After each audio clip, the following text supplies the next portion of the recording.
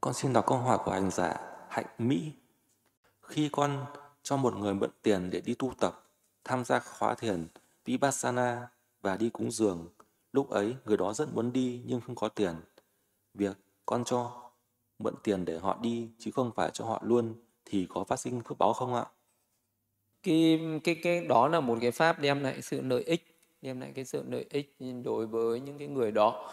Có những người ờ, đang muốn đi tham gia những khóa tu tập mà không có điều kiện mình đã giúp đỡ cái người đấy khiến cho người đấy có đủ điều kiện để đi tu tập thì cái việc làm ấy sẽ để lại cái công đức lớn làm cho mình sinh ra đời nào cũng luôn luôn gặp được chánh pháp gặp được giáo pháp.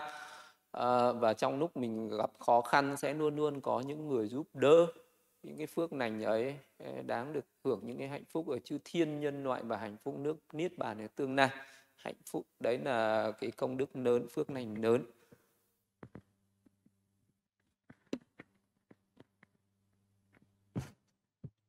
Con xin đọc câu hỏi của hành giả trên Zoom ạ. Trong Kinh Đức Phật giảng bảy giác chi là những giác chi nào ạ? Bảy giác chi được gọi là cái bảy cái chi phần hay là bảy cái pháp để đi đến sự giác ngộ. Chi đầu tiên là niệm giác chi. Niệm ở đây là những cái niệm thân, niệm thọ, niệm tâm, niệm pháp, những cái pháp chỉ tránh niệm tỉnh giác ấy. Rồi trạch pháp, giác chi, nó là cái trí tuệ để mình uh, học và thực hành giáo pháp. Tinh tấn giác chi tinh tấn hướng đến sự giác ngộ và hỷ giác chi. Tức là cái sự hoan hỷ thực hành pháp để đi đến sự giác ngộ. Uh, khinh an giác chi là cái sự uh, thư thái thảnh thơi nhẹ nhàng uh, hướng đến sự giác ngộ ờ, uh, và định. Uh, giác chi hay còn gọi là tịnh giác chi định tức là làm cho cái tâm của mình nó thanh tịnh định tĩnh để hướng đến sự giác ngộ và xả giác chi. Là cái, cái tâm uh, trung đạo không mạnh không yếu không tăng giảm. Cái tâm thản nhiên không dính mắc uh, đấy được gọi là bảy giác chi uh, niệm giác chi trạch pháp giác chi tinh tấn giác chi hỷ giác chi kinh an giác chi định giác chi xả giác chi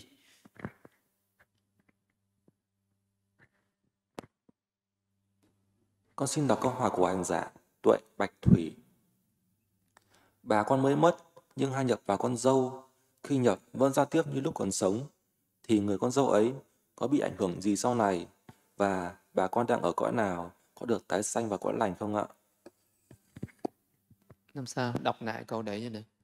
Dạ. Bà con mới mất nhưng hai nhập vào con dâu.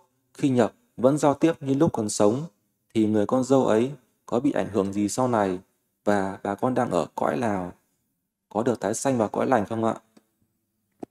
Những cái người à, khi mà trong nhà mình có người thân mất đi mà những cái người nào ở trong nhà ấy, mà cứ hay nghĩ đến nhé, cứ hay nghĩ đến cái người âm ấy nhiều là do cái tâm lý của người đấy khiến cho những phi nhân ở trong nhà hoặc hoặc là những cái phi nhân mà người ta có duyên với cái người đấy người ta tự tác động tự nhập vào và người ta tự tuyên bố tự nói là tôi là người tự nhận mình. À, người ta sẽ đóng vai cái người mới mất đấy để người ta xui khiến những người nhà làm việc này việc kia à, chứ 99% thì cái đấy nó không đúng với không phải là cái người mới mất đấy đâu cho nên là à, tốt nhất là tránh xa chuyện đó ra thì cái cuộc sống sẽ bình yên hơn. Nếu như cứ để à, cho những người à, âm ấy người ta tác động người ta tiếp xúc người ta nhập vào như vậy thì dần dần sẽ trở nên điên loạn điên khùng sẽ à, cái người đấy không tốt không tốt không lợi nạp lợi ích gì và và cái người đấy sẽ nhiễm những cái tà kiến nhiễm lại những cái mê tín sẽ ờ, làm theo cái sự sai khiến của những cái yêu ma quỷ quái. Điều này không tốt nên đừng có để mình đừng có để cho tâm mình nó bị ám ảnh. Và vì con người ta cứ tin rằng chết rồi còn có cái linh hồn tồn tại uh, cho nên người ta bị ám như thế. Và còn những người nào hiểu về nhân quả nghiệp báo luân hồi tái sinh uh, thản nhiên tự tại trước cái sự uh, sinh già bệnh chết uh, coi chuyện sinh tử là chuyện thường tình uh, không luyến ái không uh, có nghĩ ngợi không bị uh, trầm tư ảo tưởng về những cái chuyện đấy nữa thì người đó đã không bị như vậy nên là hãy tránh xa cái chuyện đó thì sẽ được bình yên hơn Con xin đọc câu hỏi của hàng giả trên Zoom ạ. Con kính bạch sư, xin sư cho con hỏi, con ngồi thiền bị tức ngực là vì sao ạ? Là vì chú tâm mạnh quá. Để tâm nhẹ ra thì sẽ không bị gì hết. Để tâm chú chăm chú quá mức, tập trung quá mạnh nên nó bị như thế. Để tâm nhẹ nhẹ ra uh, thì nó sẽ hết cái hiện tượng đó. Con xin đọc câu hỏi của hành giả Nguyễn Minh Thái. Khi ngồi thiền, con thấy ánh sáng ở vùng mắt, giống như khi mình nhắm mắt, nhìn bóng điện, nhưng con không nghĩ đó là tạo tướng, vì con ngồi thiền không được lâu, một thời chỉ được một tiếng đồng hồ. Con xin sư giải đáp giúp con nó là gì và cần điều chỉnh gì không ạ? Nếu mà ngồi thiền ờ, nó sẽ sáng lên như vậy là chuyện bình thường. Có những người ngồi rất ít nó cũng vẫn sáng. À, với người có tâm ít phiền não một chút thì rất nhanh có ánh sáng ánh sáng thì mặc kệ thôi mình cứ tiếp tục nhận biết hơi thở đừng đi theo ánh sáng đừng nhìn vào ánh sáng đừng bàn luận phân tích uh, hay là tưởng tượng ra cái màu sắc hình dáng gì ở trong ánh sáng. Đấy thì sẽ không bị ảo tưởng sẽ không rơi vào những ảo tưởng. Uh, và cứ tiếp tục quan sát hơi thở và cứ để cho ánh sáng đó nó tự nhiên nó phát triển nó sáng lên. Thì cái ánh sáng đấy nó là cái tâm của mình bắt đầu có dấu hiệu là nó có định. Nhưng cái định nó còn non còn yếu thì ánh sáng ấy nó sẽ mờ nó yếu. Khi nào cái định của mình nó thâm sâu mạnh mẽ thì cái ánh sáng ấy nó sẽ sáng chói nó mạnh mẽ lên. À, nó tạo ra cái định lực nó hút sâu vào. Tâm của mình sẽ gắn chặt vào cái ánh sáng đó thì mình sẽ càng lúc càng vào định sâu hơn. Ờ, nhưng mà với cái bước đầu nó xuất hiện thì đừng nhìn vào nó cứ tiếp tục quan sát hơi thở.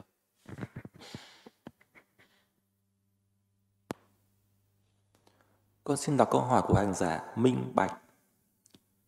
Con xin sư giảng giải cho chúng con, chúng con hiểu về sự nguy hiểm khi còn trong luân hồi ạ. Với một cái người nào mà um, có cái sự kinh cảm đối với luân hồi ờ, thì ừ, có thể suy xét rằng là là với nước mắt chúng sinh nhiều hơn nước biển tức là trong quá khứ mình đã từng khóc than những cha mẹ những người thân uh, của mình qua đời. Có thể là trong một kiếp như vậy mình ờ, chỉ uh, mỗi một lần có người thân qua đời mình đã khóc một vài giọt nước mắt. Uh, và trong mỗi một kiếp như vậy có thể mình chỉ là một cái lượng nước mắt nó ít thôi nó không nhiều nhưng trong vô lượng kiếp thì những cái nước mắt mình than khóc người thân nó đã nhiều như nước biển đấy. Hay là những cái trong luân hồi mình đã từng ra trận mình đã từng đi trải qua những cuộc chiến tranh tàn sát uh, chém giết và mình đã từng bị giết đã từng bị phanh thây xẻ thịt máu mình đã đổ xuống. Uh, một kiếp thì nó không đáng kể bao nhiêu nhưng nó tích tụ vô lượng kiếp nạn thì nó cũng nhiều hơn bốn bể. Trong những kiếp mình sinh ra làm những cái loài súc sinh uh, trâu bò húc nhau hay làm những cái loài cắn xé nhau à, máu mình cũng đã đổ xuống nhiều như nước biển vậy. À, nếu mà xương của mình chất lên thì nhiều hơn cả cái địa cầu này. À, trong thân à, trong luân hồi sinh tử vậy mình có thể lấy hết tất cả những cái vật chất đây là một cái cành cây đây là một cái lá cây đây là một cái khúc cây mình chất trần chất đống lên nhau và mình nói rằng đây là cha tôi đây là cha của cha tôi đây là ông tôi đây là cha của ông tôi đây là bà tôi đây là thì tất cả những cái cành cây lá cây khúc cây ờ, vật chất trên thế gian này nó có thể hết sạch. Nhưng mà những cái kiếp luân hồi của mình nó còn nhiều hơn thế. Nó vẫn không hết được những kiếp mà mình đã từng trải qua. Như vậy nếu như một cái người không có cái lý tưởng tư tưởng muốn là à, học đạo tu tâm để đi đến niết bàn chấm dứt luân hồi sinh tử thì mình cũng sẽ còn tiếp tục trải qua à, cái thời gian dài ở trong luân hồi sinh tử như vậy mình sẽ lại tiếp tục uh, than khóc những người thân và nước mắt mình sẽ đổ xuống như nước biển như vậy máu mình sẽ chảy như biển như vậy.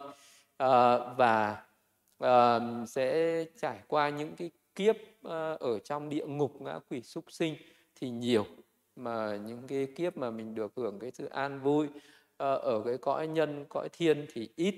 Uh, và và mình cảm thấy điều đó là kinh cảm và đáng sợ. Mình thấy ở trên thế gian này những cái chúng sinh cao thượng rất ít mà những chúng sinh hạ nhiệt thì rất nhiều. Ờ, cũng như vậy ở trên cõi cái cõi người này cái chúng sinh có giới hạn người ta có thể đếm được cái số lượng. À, con người ở trên đời này có bao nhiêu người bao nhiêu triệu người bao nhiêu tỷ người. Nhưng người ta không thể đếm được những số lượng của những chúng sinh hạ nhiệt.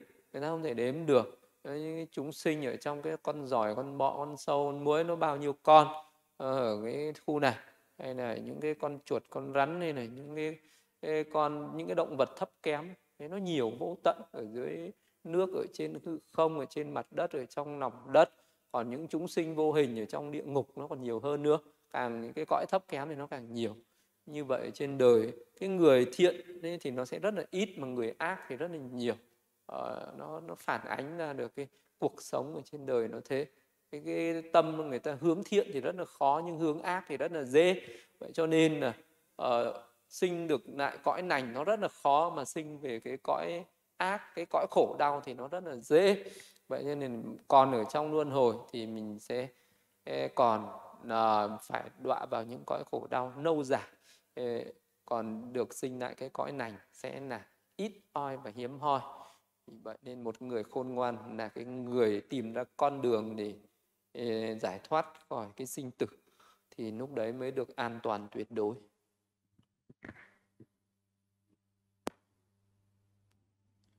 Con xin đọc câu hỏi của hành giả Văn Hải.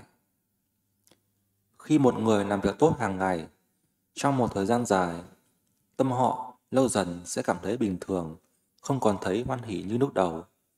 Mà để tạo ra thiện nghiệp có lớn hay không là do tâm chứ không phải hành động.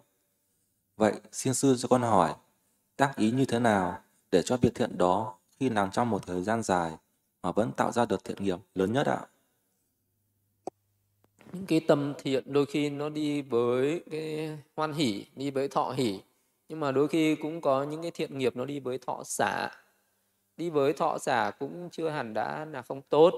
Có những cái thiện nghiệp mà thiện nghiệp ở cái mức độ thấp thì nó đi với cái tâm hoan hỷ nhiều hơn. Như những cái người bố thí thì người ta luôn luôn hay đi kèm với cái thị hoan hỷ với sự bố thí đó thì tốt.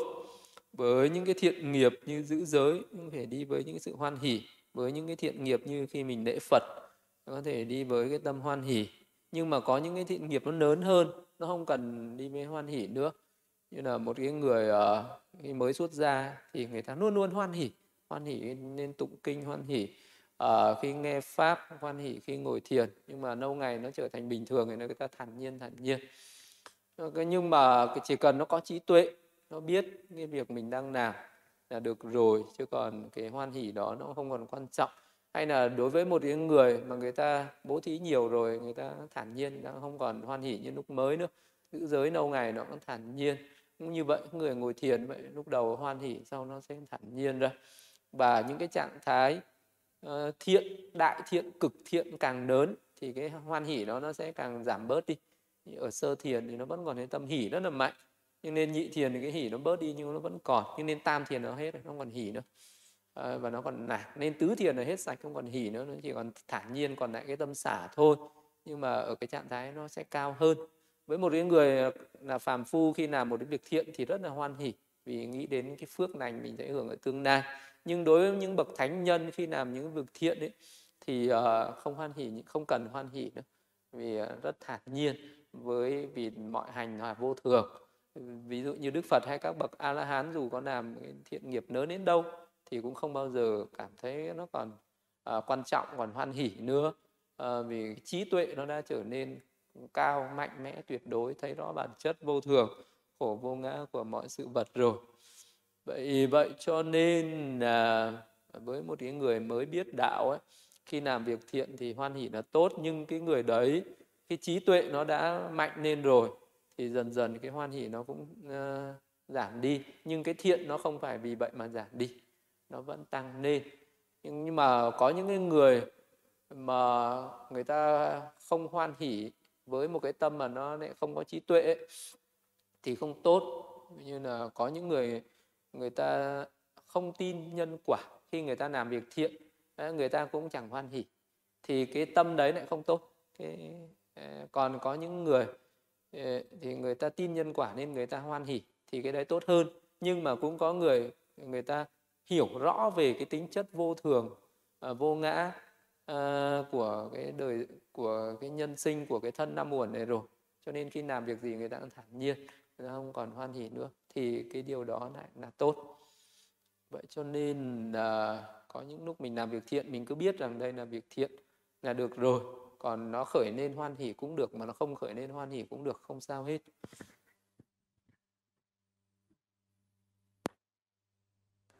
Con xin đọc câu hỏi của hành giả trên Facebook. Đào Chiến ạ. Trong lúc thiền, trong lúc thiền, thi thoảng con bị hôn trầm là do gì ạ? Nó có rất nhiều nguyên nhân khiến cho một người đang hành thiền mà bị hôn trầm À, hôn trầm à, có thể ờ, do cái nguyên nhân lúc đầu là cái tinh tấn nó thấp nó yếu cái hoan hỉ nó yếu cho nên nó hôn trầm vậy thì ừ, có thể tăng cái tinh tấn lên một chút mình nghĩ đến cái lợi ích của cái pháp hành thiền mình biết là mình cần phải nỗ lực thực hành để à, ờ, đạt được những cái lợi ích, những công đức. Khi mình nghĩ đến lợi ích, công đức thì cũng sẽ tinh tấn lên thì nó cũng bớt hôn trầm đi. Ờ, hôn trầm có thể là do mình hơi giải đãi hôn trầm nó sinh ra có thể là do mình chú tâm nhẹ quá à, mình hưởng thụ cái sự an lạc quá, lười biếng ờ, vậy thì nó hơi bị lười biếng. Vậy mình chú tâm mạnh mạnh lên chút, nó cũng bớt hôn trầm hôn trầm đấy, nó sinh ra có thể là do chánh niệm nó yếu, do cái à, lúc mới ngồi, cái định nó còn yếu, cho nên nó sẽ hôn trầm. Nhưng mình cứ mặc kệ nó, một lúc sau cái chánh niệm đó nó tăng lên, cái định nó mạnh lên thì nó tỉnh táo lên, thì cái hôn trầm nó sẽ tự qua. Hoặc là có những người hôn trầm là do thời tiết, có thể là do sức khỏe của mình kém hoặc là do mình đang bị thiếu ngủ một chút thân tâm nó đang mệt mỏi một chút cho nên ngồi nó sẽ có chút hôn trầm. Nhưng mà mình cứ ngồi nhẹ nhàng ờ, ờ, thản nhiên rồi một lúc sau thì ờ, tâm nó sẽ tỉnh táo lại. Ừ, quan trọng là mình phải biết được nguyên nhân tại sao mà mình lại bị hôn trầm thì nó sẽ dễ để điều chỉnh cái, cái hôn trầm đấy. Còn nếu như mình không biết được nguyên nhân tại sao hôm nay mình lại bị hôn trầm thì nó rất khó vượt qua được cái hôn trầm này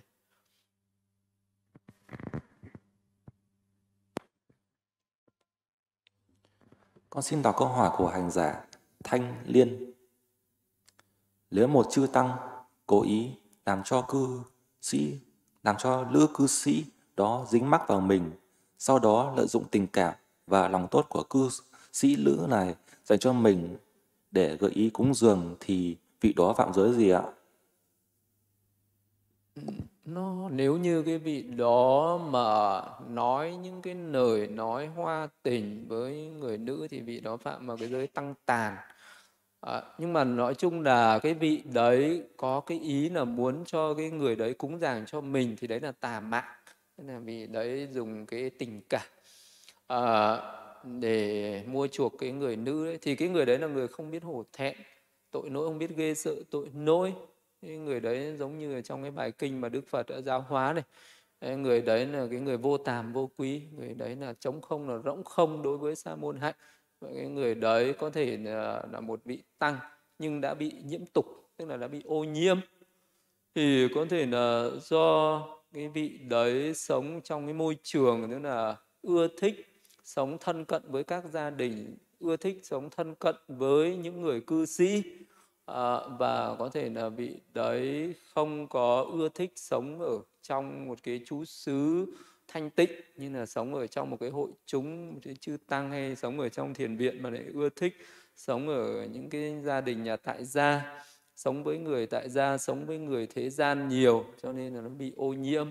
À, nó sinh ra những tình cảm do vị đó tiếp xúc nhiều với cái đời sống thế gian à, rồi nó sinh ra cái sự ưa thích được hưởng những cái nội dưỡng ưa thích được cái sự nuông chiều ưa thích được cái sự chăm sóc Ờ, của người đời thì cái vị đấy trở thành một cái người dối trá một cái người giả tạo một cái người sống để lợi dụng cái uh, cái cái hình tướng của một vị uh, sa môn ấy để sống một cái cuộc sống an nhàn nịnh bợ người đời ờ, thì thì cái cách sống đấy là cách sống hạ liệt cái sống đấy là cái sống ô một cái một cái cách sống nó rất là xấu xa đối với hình ảnh của một cái vị tỳ kheo ấy. Nhưng mà với một cái người cư sĩ một cái người phật tử nào người ta có trí tuệ ờ, người ta sẽ nhận biết ra được thông qua cái cách nói gợi ý để được cúng dường hay là thông qua cái cách nói mà bị ấy mồi chài về tình cảm thông qua cách nói mồi chài về vật dụng thì ờ, với một cái người ờ, không có trí tuệ thì không nhận ra được ngu si thì sẽ bị người ta nửa. Ờ, còn những người có trí thức người có trí tuệ thì người ta sẽ nhận biết ra được cái cái cái phẩm hạnh đạo hạnh của cái vị đó. Thì những cái vị như vậy thì đáng bị chỉ trích đáng uh, bị uh, xa đáng phải xa nánh không nên thân cận thì sẽ tránh được uh, những cái nguy hiểm những họa tai.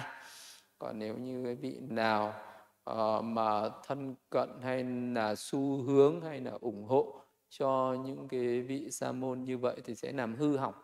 Chính cái vị sa môn ấy làm hư hỏng cái đức hạnh của vị sa môn ấy và hư hỏng cả bản thân mình làm hư hỏng giáo pháp cho nên là rất nhiều cái người phật tử cư sĩ tại gia ờ, không hiểu uh, về giáo pháp không hiểu giới luật không hiểu cái đời sống của cái người cư sĩ. Uh, người ta rất là thích uh, được uh, đón tiếp những vị uh, sư về nhà mình chăm sóc nuôi dưỡng chiều chuộng. Hay một thời gian sau thì người ta làm hư hỏng hết những cái đạo hạnh đức hạnh của những vị ấy. Uh, đấy là cái cái sân hối sống ở gần thế gian nó bị nhiễm đời như vậy à, nên là bị với người nào có trí tuệ hiểu biết thì cần phải ngăn ngừa đề phòng đừng để cho cái chuyện đó nó diễn ra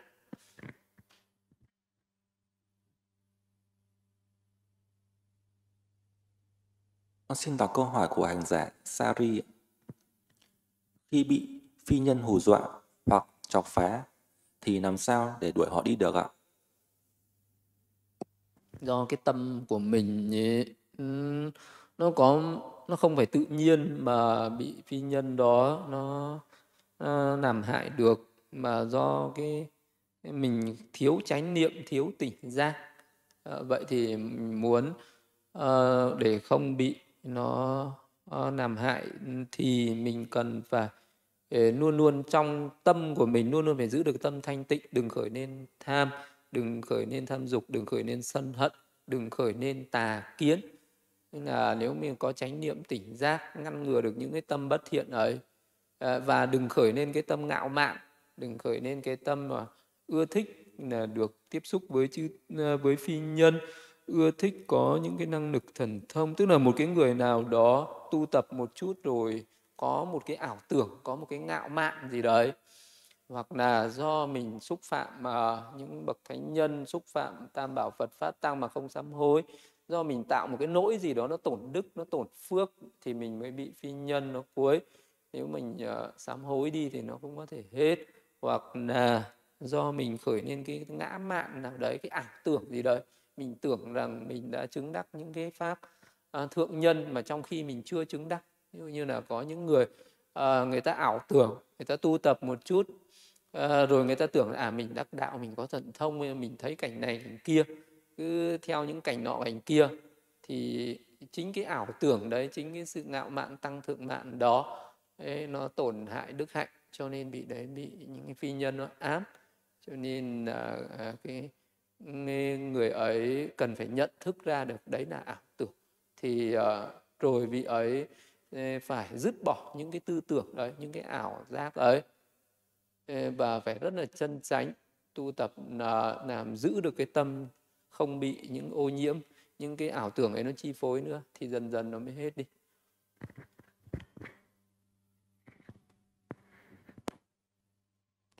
Con xin đọc câu hỏi của hành giả trên YouTube ạ. Xin sư cho con hỏi, công phu là gì và thực hành như thế nào ạ? Công phu này ý muốn nói là mình ờ, thực hành một cái gì đó nạp đi nạp lại thì gọi là công phu. Như là mình học một cái bài gì đó mình muốn cho nó thuộc một cái bài kinh nào đó mình cần phải học đi học lại thì công phu học tập hàng ngày.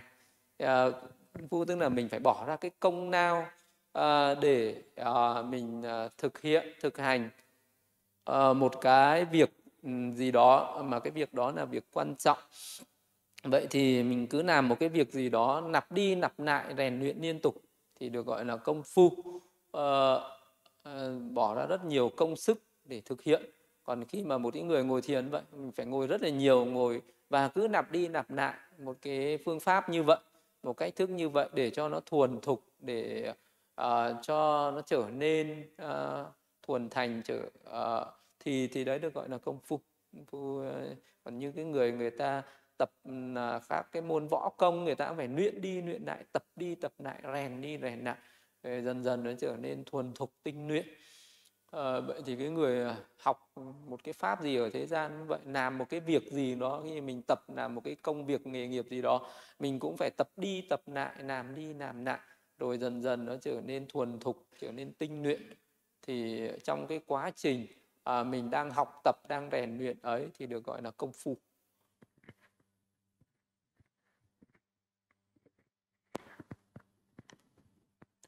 Con xin đọc câu hỏi của hành giả Pháp Thanh. Một vị tỳ kheo cần làm gì nếu bị trầm cảm, bị suy, giảm nhận thức và bị bệnh tiểu đường?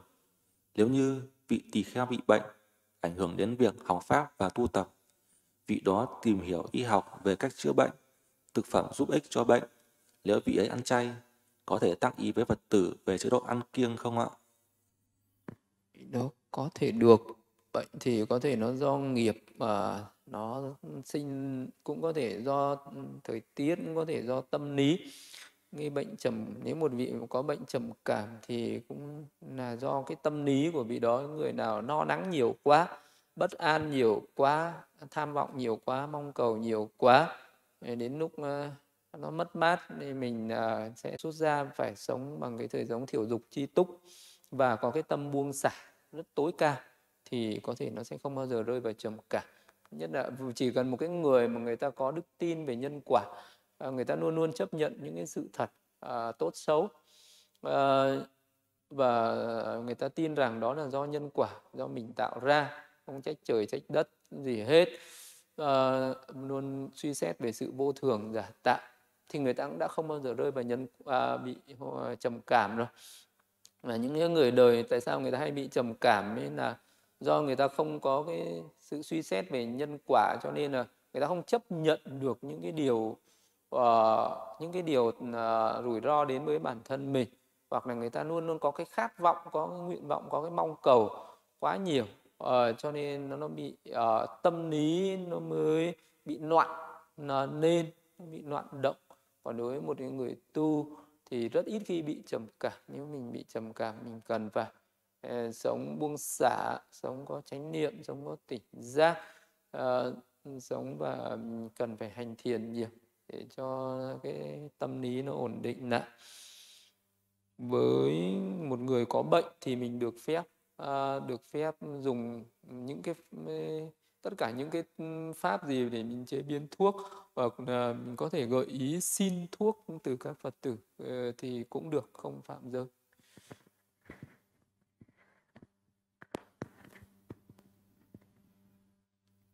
Con xin đọc câu hỏi của hành giả Giãn Châu trên YouTube. Xin sư giải thích cho con tứ vô ngại giải có ý nghĩa như thế nào ạ? Tứ vô ngại giải ờ, hay còn gọi là tứ tuệ phân tích. Tứ vô ngại giải là từ vô ngại giải, pháp vô ngại giải, à, nghĩa vô ngại giải, biện tài vô ngại giải. À, với một cái người mà có được cái tuệ vô ngại giải này thì uh, cái vị đấy sẽ hiểu ngôn ngữ uh, sẽ thông thạo trong cách sử dụng các ngôn ngữ. Uh, thì đấy được gọi là từ vô ngại giải thì vị đó uh, sẽ khi có cái trí tuệ đấy vị đó biết cách ứng dụng vận dụng sử dụng và hay là học tập những cái từ ngữ nó rất là dễ dàng và rất là thiện xả trong cái các cái cách dùng từ cái gọi là từ vô ngại không có trở ngại gì hết. Ờ, pháp vô ngại giả tức là vị ấy hiểu rõ được các cái pháp thế gian pháp suốt thế gian. Uh, những cái pháp uh, thiện pháp ác cái pháp uh, tục đế pháp chân đế tức là vị ấy nhìn đâu nó cũng ra pháp vì đó có thể dùng bất cứ một cái ví dụ gì vị đó cũng có thể nói ra cũng nhìn thấy pháp ở trong ừ, mọi thứ trên cuộc đời. À, pháp vô ngại giải và nghĩa vô ngại giải. Tức là vị ấy ờ, khi mà vị ấy ừ, hướng đến một cái pháp gì vị đó sẽ hiểu ra những cái ý nghĩa ờ, rất là thâm sâu ở trong cái pháp ấy. Ví dụ như một cái người hiểu về cái pháp niệm ân đức phật à, và niệm ân đức phật thì vì ấy niệm là đức thế tôn là bậc ứng cúng. Nhưng mà ứng cúng thì có những cái đấy là pháp. Còn ý nghĩa nghĩa là ứng cúng ấy vì ngài có cái nghĩa rằng vì ngài đã bậc đoạn trừ hết tham sân si và các tiền khiến giật nên ngài là bậc xứng đáng được cúng dường. Vì ngài đã uh, giác ngộ ờ, uh, tránh đẳng tránh giác nên ngài là bậc xứng đáng được cúng dường. Vì giới định tuệ của ngài không ai sánh bằng nên ngài là bậc xứng đáng được cúng dường vì ngài không bao giờ phạm mọi nỗi nầm dù ở thân khẩu ý, ở nơi vắng vẻ kín đáo, cho nên ngài là bậc xứng đáng được cúng dường. Nên một cái pháp nó có rất nhiều nghĩa như vậy. Như vậy thì cái nghĩa ở đây nó cũng giống như là cái nhân duyên. Như vậy một cái người thấy được cái thân này là năm uẩn, ví dụ vị đấy hiểu ra được cái thân này là năm uẩn, đấy là pháp, vị đó biết được các cái nhân duyên nào nó sinh ra cái thân năm uẩn này. Do vô minh, duyên hành hành duyên thức thức duyên danh sắc hay là do thân năm uẩn này là do có tái sinh do có nghiệp hữu do có chấp thủ uh, do có tham ái do có cảm thọ do có tiếp xúc do có uh, sáu căn sáu trần do có danh sắc uh, do có thức do có hành do có vô minh tức là một cái pháp mà nó có rất nhiều những cái nhân duyên nó sinh lên cái pháp ấy như vậy thì vị ấy thấy được pháp và thấy được cái nhân sinh ra pháp ấy vậy được gọi là pháp vô ngại giả nhìn đâu cũng thấy pháp và nhìn đâu cũng thấy nhân duyên của mọi cái pháp ấy. Thì đó có thể nhìn vào một cái bông hoa. Vị đó có thể thấy ra được cái pháp này. Đây là tứ đại và vị đó thấy được cái nhân duyên nào sinh ra cái tứ đại này. À, vì nó có thể nhìn đất trời nhìn đâu cũng vậy nhìn cái gì cũng vậy. Thấy pháp và thấy ra được các cái duyên khởi ờ, của các pháp ấy được gọi là nghĩa vô ngại giả. À, biện tài vô ngại giả. Chính là ba cái yếu tố kia nó khiến cho vị ấy có cái biện tài vô ngại tức là có từ vô ngại giả có pháp vô ngại giả có nghĩa vô ngại giả thì đương nhiên sẽ có biện tài vô ngại giả. Vị ấy có thể thuyết pháp suốt ngày đêm không bao giờ hết hết pháp không bao giờ hết nghĩa không bao giờ hết từ. Vị ấy có thể xuất pháp suốt đời vị ấy có thể xuất pháp quanh năm ngày tháng. À, nhưng nói đâu nó cũng là tránh pháp nói chỗ nào nó cũng đúng pháp. Không bao giờ cạn từ không bao giờ cạn pháp và không bao giờ cạn nghĩa đấy là cái người thành tựu được cái tứ vô ngại giả. À, vậy cho nên là có những bậc uh, thánh nhân những bậc a la hán uh, ờ, đi kèm với tam minh nục thông và tứ tuệ phân tích tứ vô ngại giải này thì những vị ấy thuyết pháp suốt ngày suốt đêm suốt đời được hết. Ừ, thì cái tứ vô ngại giải là vậy.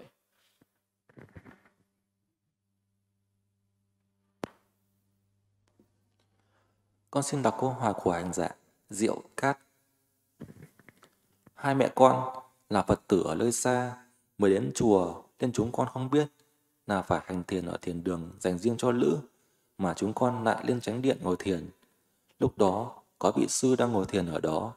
Con kính mong sư từ bi chỉ dạy cho chúng con có mang tội gì không ạ? Nếu có thì chúng con sám hối tội này như thế nào ạ? Không biết thì cũng không có tội vì ờ, ngồi thiền. Khi mà có một vị sư ở trong đấy thì mình không được vào. Nếu mình vào ấy thì cái vị sư đấy mà biết rằng có một người nữ ở trong cái nhà này mà vị ấy không chạy ra ngay tức thì thì vị ấy sẽ phạm cái giới là à, ở cùng người nữ ở nơi khuất vắng tức là một cái vị là sư một vị sư là tuyệt đối không được ở một cái nơi khuất một cái nơi vắng với một người nữ à, vì vậy cho nên là một cái người nữ muốn đến Ờ, gặp một vị sư thì vị ấy phải đi hai người trở nên.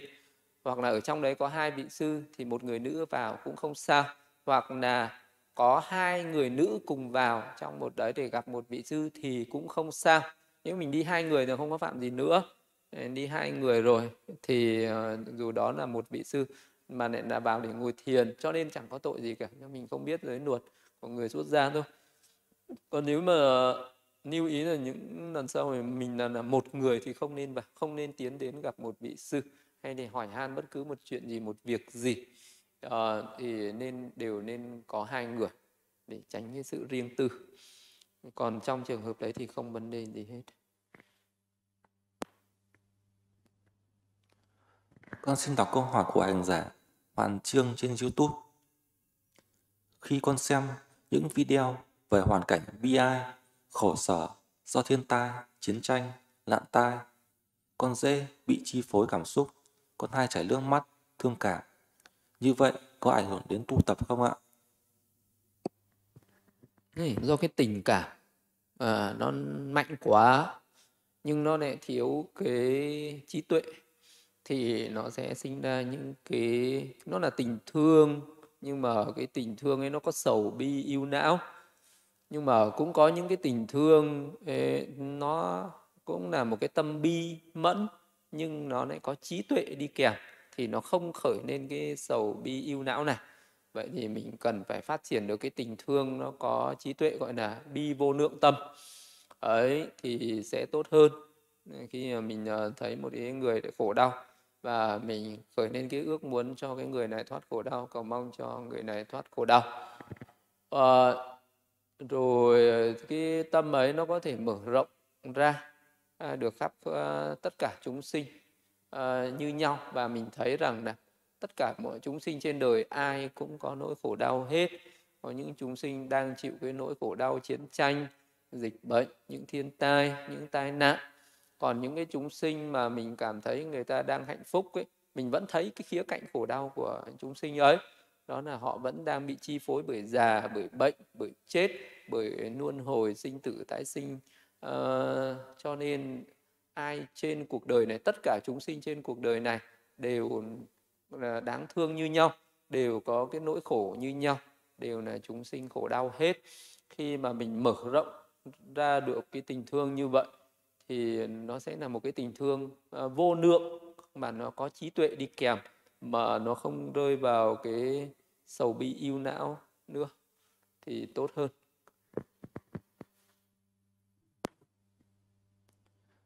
Con xin đọc câu hỏi của hành giả Định trên Zoom Con xin sư chỉ dạy cho con cách tu tập tránh niệm trong lúc ngủ và hướng niệm cho đến lúc dậy ạ. cái lúc mà đi ngủ muốn ngủ ở trong chánh niệm thì ờ, trong cái lúc ngủ ấy mình có thể hướng tâm đến cái thân này mình quán cái thân này là ba hai thể trược. Và quán thân này là xác chết quán thân này là tứ đại hay quán thân này là bộ xương. À, rồi mình khởi lên cái tâm nhàm chán ni tham đối với cái thân này. Mình có thể quán thân trên nội thân quán thân trên ngoại thân. À, Ờ, rồi mình hướng đến mọi người ở bên ngoài mình cũng quán những người đấy là ba hai thể trược người ấy là thân tứ đại người ấy là xác chết là bộ xương à, là vô thường là giả tạm là vô ngã. À, đấy là ừ, luôn luôn trú ở trong cái chánh niệm như vậy. À, và thì rồi nó ngủ đi lúc nào ấy thì đấy là ngủ có chánh niệm. Khi bắt đầu à, ngủ rồi mình cũng ước chừng ta ngủ đến giờ này ta sẽ dậy và cái mở mắt ra cái suy nghĩ đầu tiên đó là nghĩ về cái thân này là ba hai thể trược là tứ đại là xác chết là bộ xương. À, thối tha ờ, à, hồi thối bất tịnh. Đấy, như vậy thì mình sẽ giữ được chánh niệm trong cả lúc thức và lúc ngủ.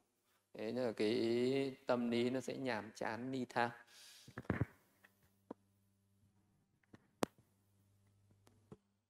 Con xin đọc câu hỏi của hành giả tu lữ tịnh hỷ. Khi ngồi thiền được một lúc, con thấy cơ thể mình có sự dao động nhẹ theo hơi thở, đầu hơi nghiêng, ngửa lên phía trên. Con vẫn hoàn toàn tỉnh táo và biết rõ những gì đang xảy ra. Cảm giác khi con ngồi rất êm và con cho rằng đó là sự dao động nhẹ. Nhưng khi con quay lại video, một quãng thời gian mình ngồi thiền, con mới phát hiện ra là cơ thể nó rung lắc cứ như là người ngủ gật hoặc giống như người đang hầu đồng. Con xem lại mà con cũng giật mình vì con hoàn toàn tỉnh táo. Ngay cả khi con mở mắt nhìn xuống một điểm trước mặt thì được một lúc con cũng thấy cơ thể bắt đầu rung nhẹ, rung lắc nhẹ, không trong trạng thái ngồi yên tĩnh bất động ạ. Con xin sư từ bi chỉ dạy, con phải làm gì trong trường hợp này ạ?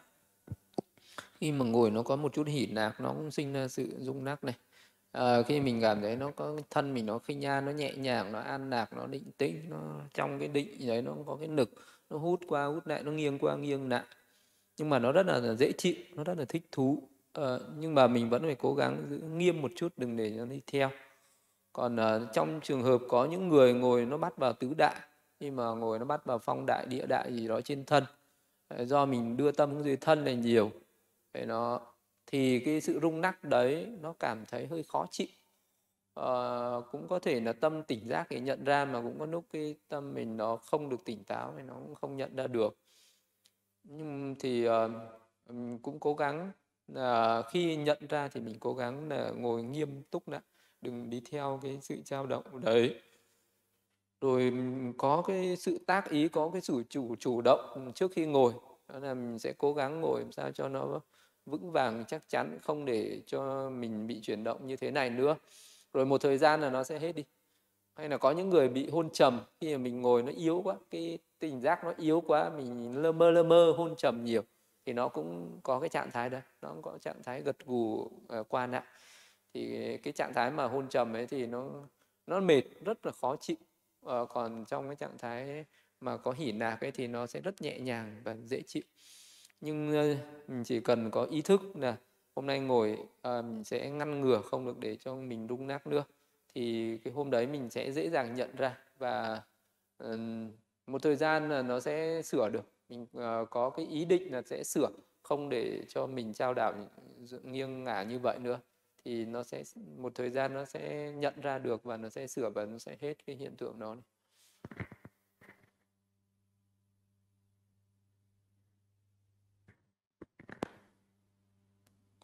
Con xin đọc câu hỏi của hành giả Đức Phổ. Con xin sư hoan hỷ hướng dẫn cách tu tập cho người mới tu ạ và làm thế nào để giảm bớt vọng niệm ạ? Người mới tu thì cũng uh, đầu tiên là mình cần phải học pháp để mình hiểu được pháp đó.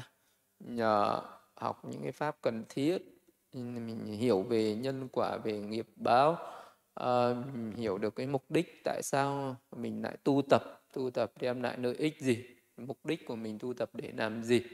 Khi hiểu rồi bắt đầu mới uh, thực hành. Uh, và biết là cái sự tất cả cái sự thực hành uh, của mình hay là cái sự tu tập của mình đều là hướng đến đoạn trừ những phiền não tham sân si mà thôi. Uh, hướng đến diệt trừ những cái tội lỗi ở trên thân khẩu ý.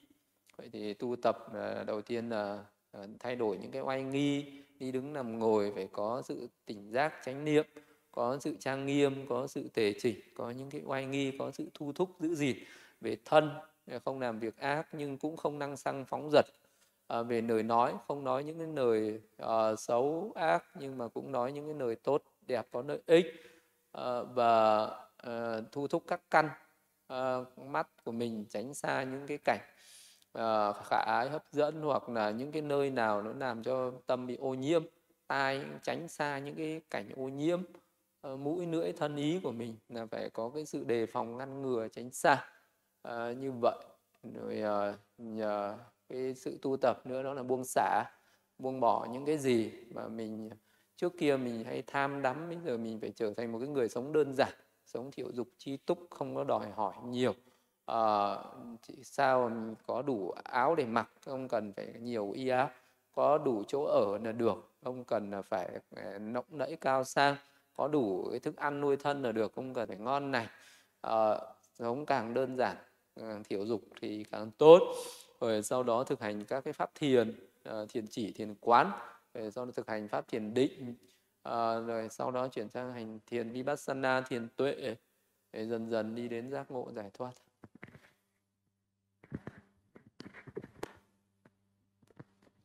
Con xin đọc câu hỏi của hành giả Trần Văn Hà trên Facebook.